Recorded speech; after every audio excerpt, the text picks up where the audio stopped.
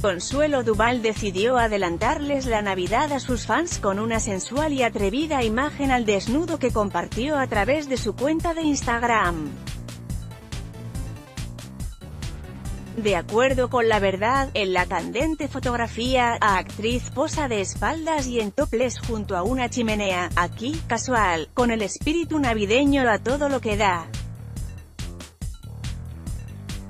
Santa, quiero tener pompas y cinturita de Thalía, escribió Consuelo haciendo gala de su buen humor.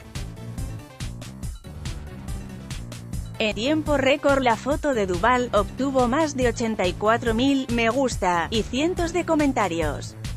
Por supuesto que el comentario de Thalía no se hizo esperar, aplaudiendo y mandándole besos a través de emojis.